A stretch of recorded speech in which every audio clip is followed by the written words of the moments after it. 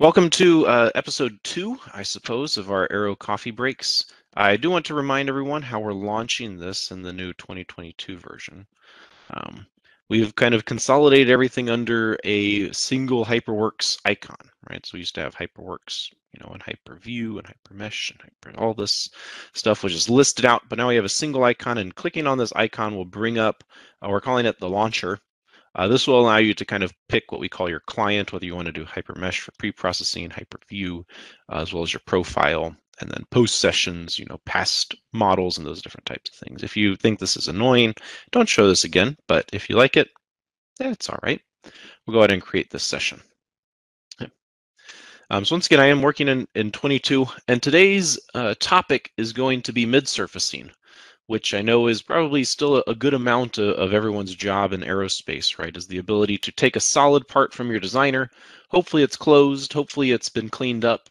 Um, last yesterday we talked about uh, not yesterday. Last uh, last session we talked about some of the cleanup stuff that we can do. Um, but really, uh, what what would probably be be of most interest to uh, to people is um, you know, bringing in the mid-surfacing, and then obviously the mid-surface might have some cleanup operations as well. So there's no guarantee that the, the mid-surface comes in perfectly. Um, so I'm going to go ahead and open a, uh, a new HyperMesh model. Got one that's well suited for some of this type of stuff. All right, um, once again, when any model comes in, you always want to just rotate it to make sure that the, the product that you're working in is live. Uh, so move it around. Okay.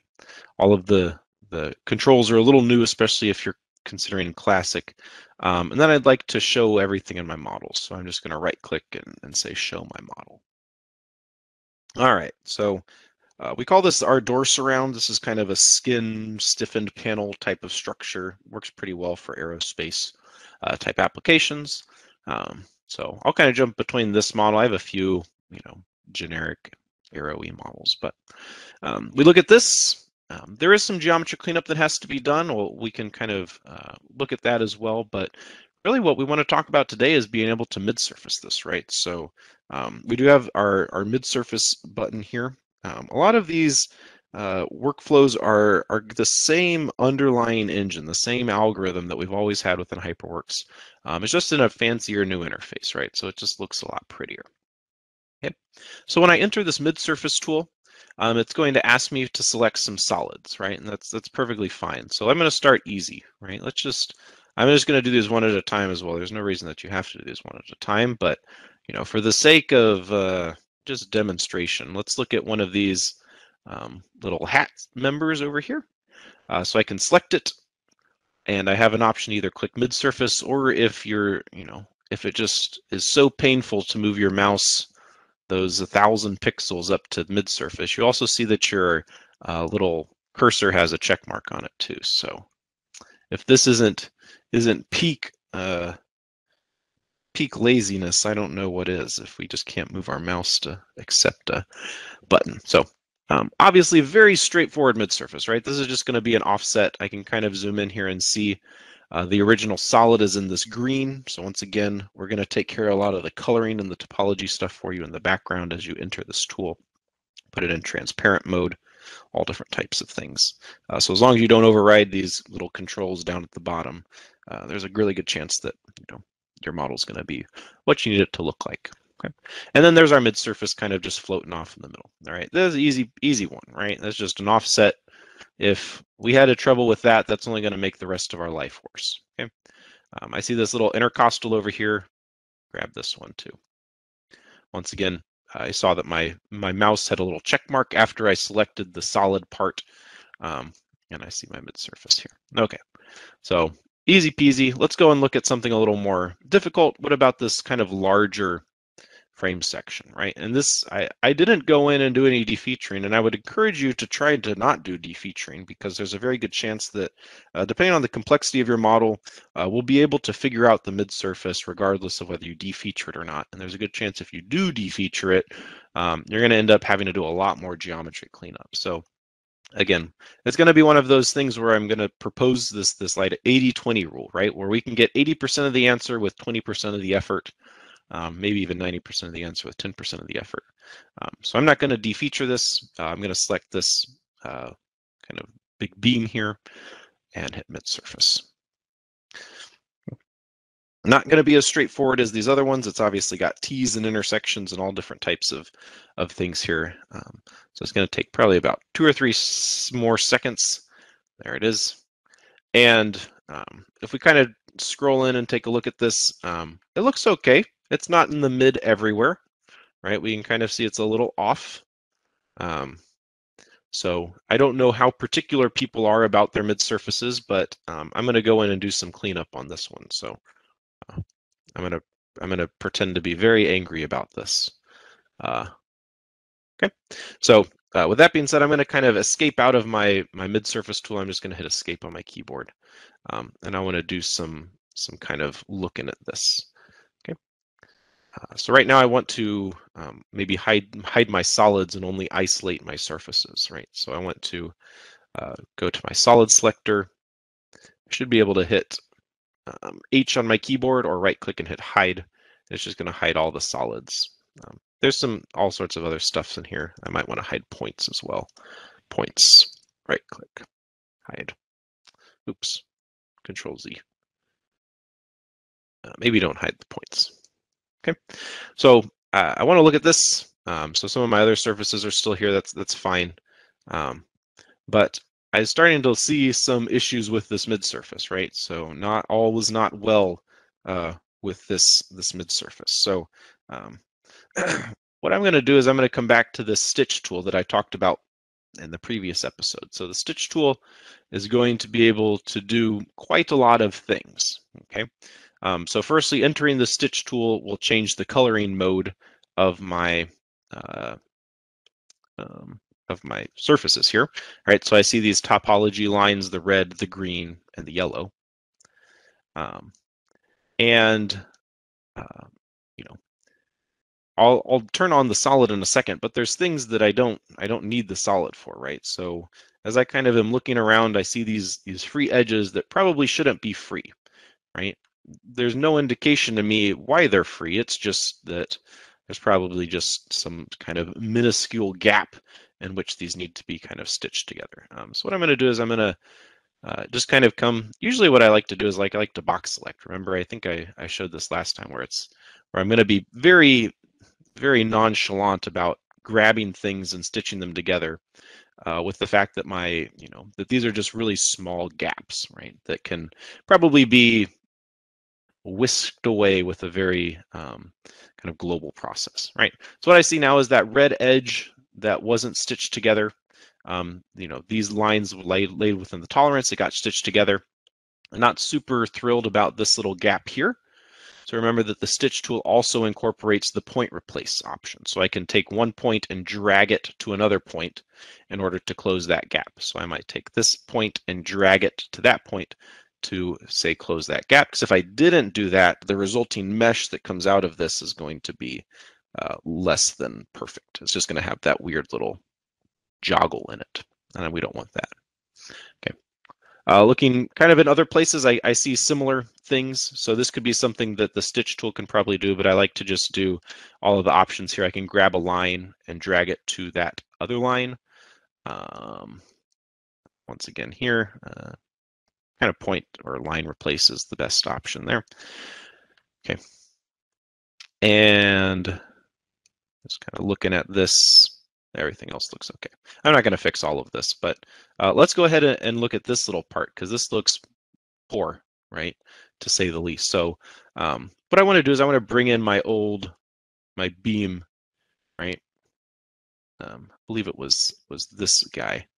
Okay, so this beam Oben from my my German colleagues. Um, so you can kind of see that there was this, something was going on with the geometry here. We didn't perfectly capture this, right? So this kind of this cap, uh, we we need to you know essentially do something here in order to capture this correctly. Okay. Um, and in no way is this going to be the definitive guide for um, uh, mid-surfacing, but I'm going to show you a few things that I like to do. Um, and these things are a lot easier to do now that we have uh, a little more interactive capability with some of these um, these tools. Okay, so uh, the first thing that I'm going to do is I'm going to kind of do some manual cleanup, right? So um, this is merely an introduction to some of the the mid surfacing that we can do. But um, let's kind of kind of clean this up. So what I'm going to do is I'm going to split. I have this interactive split tool, and all I'm going to do is just kind of split this off. So these are now two separate surfaces, and the snaps are here to kind of help make my life a little easier. Um, I'm even going to come in, snap to that, and snap there, perpendicular. Okay. Um, so maybe what you're kind of seeing here is I'm going to try to give this part a little bit of a haircut, right? So because um, I, I'm thinking to myself, if I can have a nice kind of square rectangular region, I can probably just do a little patching, right? So I'm going to select these two new surfaces that I made uh, for purely made them for the, the sake of deleting them, right? So I'm going to delete on my keyboard that surface and delete on my keyboard that surface, right? So I have a much more mm, square patch to work with. And speaking of patch, that sounds like a great tool to use. So under the surfaces create, we do have this ability to create a patch, right? Uh, the patch tool works in a, a, few ways. I can take a line and drag it to another line. Uh, this kind of does some estimation. It doesn't necessarily going to do a complete gap fill, but uh, you can kind of see that maybe I run this patch this way, and I could fill in another patch. Uh, but this is going to be a planar patch, so I'm going to actually hit Control Z. I don't want to do that. I could uh, select these bounding lines of my patch. And once again, I see my little check mark on my icon. And that's going to kind of more follow the line, that kind of back line a little better instead of just being a linear patch. Okay. I'm going to actually uh, control, well, yeah, I, am I'm, I'm probably going to be okay with this. There's a few other options that we can do, um, but you know, we have to remember a mid-surface is already approximation of the solid and then the mesh is going to be an approximation of that. So um, you do want this to be as close as possible but you know the the amount of time that you spend trying to get this perfectly uh, accurate is going to you know there's going to be some time savings and cost uh, associated with that. And then maybe I'll do a similar thing here but maybe I'll just see how this patch tool works um, without having to go and trim that up. So uh, that patch tool works pretty fine um, but just be aware that these lines are topological lines. When we mesh this, they're going to be, uh, mesh is going to be seeded to that. Okay. All right. So this, this mid-surfacing that I've kind of just proposed to you now is this mix between an, an automated thing of saying, let's go to the mid-surface, you know, let's just select a couple solids, see what the, the mid-surface gives us, right? Um, and if it gives us something that's pretty close, okay, there are options that we can do in order to fix that, right? And I'm not saying that these manual options are going to be the best for for every situation. Um, and in fact, let's let's kind of take this next little step of um, um, editing these plates, right? And this is a very common Patran HyperWorks thing to do. Uh, so once again, I'm going to come back and show all of my models. So um, should just be able to go right click, show all. There we go. Um, so I'm, you know, mid-surface of that one's done. Uh, I'm going to come and do mid-surface here. Something else that I'll point out that's always really rubbed me the wrong way is that all of these mid-surfaces that I made were put into their own, were put into the same component, excuse me.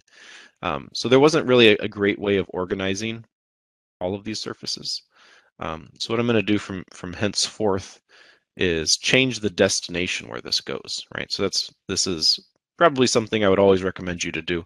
Um, and usually, usually what I like to do is I like to have each mid-surface that was originated from a particular part to be its own particular part that's just named after the part. I know I said part a lot of times. So, um, so what I'm going to choose is this original name dot and a number.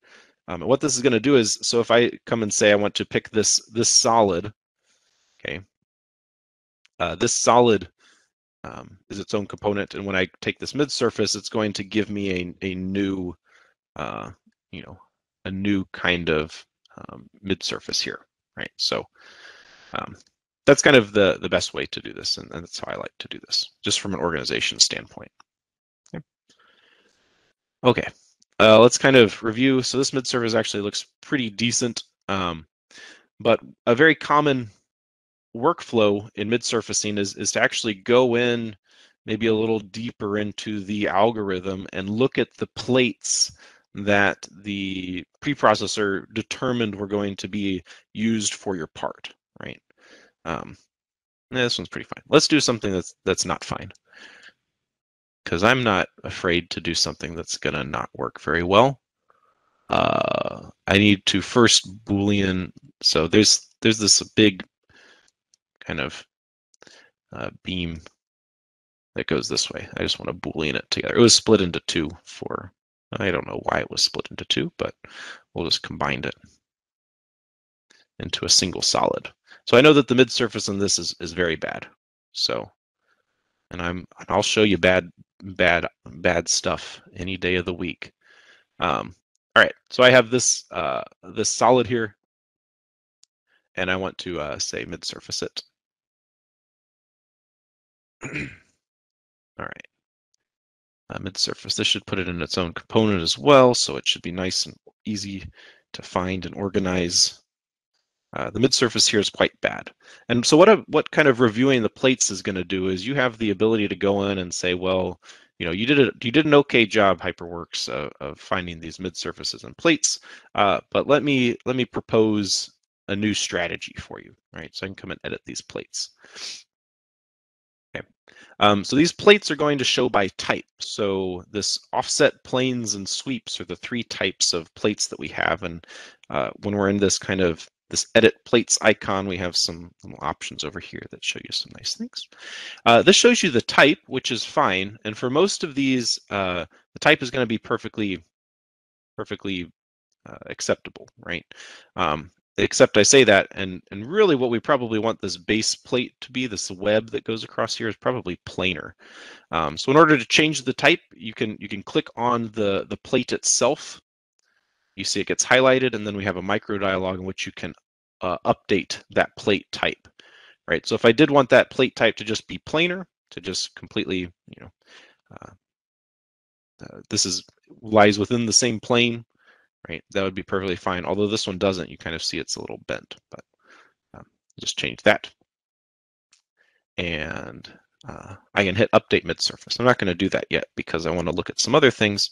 Uh, the second thing that might be important to you, well, so these are the types, but they don't necessarily show you kind of what plates they are, the connectivity of these plates, right? So um, what we can actually do is we can color by the plate so you can see how they get um, kind of connected here. Okay, and actually a great example is back here um, on this, the original beam that we did. So you can see that all of these colors denote a different plate. And if you're all, if you're ever having trouble with plates connecting, right? So maybe you you do all of this uh, mid-surfacing, but every time you mid-surface, there's always just a bunch of little gaps in between every single surface that you have, right? So um, that could just be because the plate is discontinuous, okay? Which means that this maroon plate here and this ooh, uh, brownish to the left of it, uh, these are two separate plates. Um, if I wanted to, say, kind of combine these, I could select both of the plates and just once again change their type again.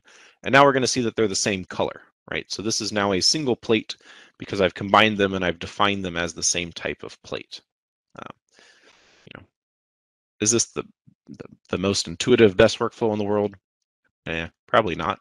We're working on it, but this is really graphical and it does uh, expose all the options that we had you know previously as far as being able to edit these plates. So if i want this kind of triangle region instead of being two separate plates to be a single sweep plate i can just go and select both of the plates and update.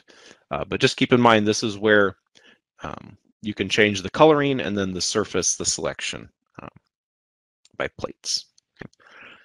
And you know if you will indulge me for just a little bit longer uh, i do have this little um, beam in here that actually needs a little bit of help.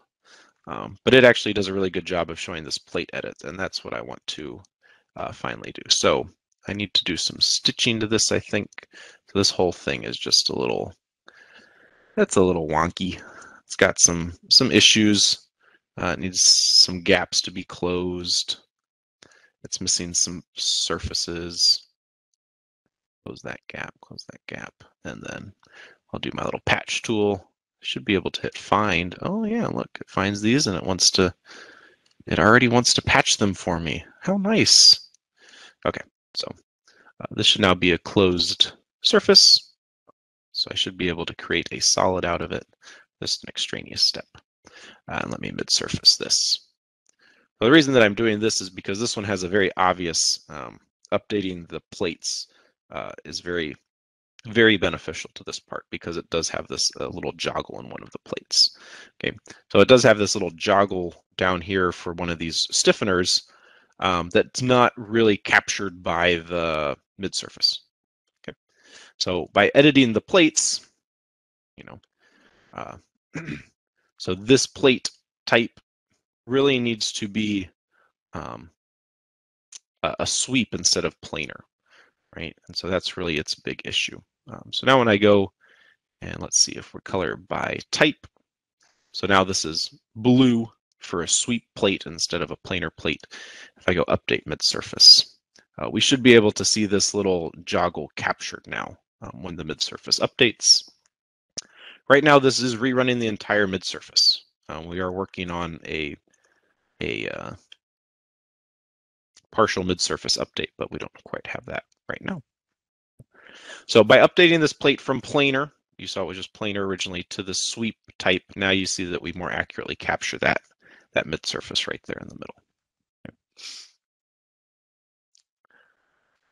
And kind of exit out of this. Okay, so that's going to be our, our real quick crash course into mid-surfacing. So I'm going to, going to kind of leave you with two options. One is you know, use the default mid-surfacing preferences. Don't worry about the plates. Don't worry about that. Um, use some of the new geometry editing creation tools. I didn't even show you like uh, the copy and paste and move. I think that's a pretty straightforward workflow of being able to take a surface, copy paste it, and then uh, move it into a mid surface and then stitch it all back together. Um, so you have that kind of manual option, or you also do have the the kind of the legacy of this editing plates. Um, I have to say for, for, for new users, this might be a little odd and clunky to use, but um, it is there. Uh, so with that, I hope I hope everyone is doing well. Um, next week, I believe we'll talk meshing and assigning thickness to these mid surfaces because that's the next step. Um, but until then, uh, feel free to reach out to our support or myself, and I'd be happy to help.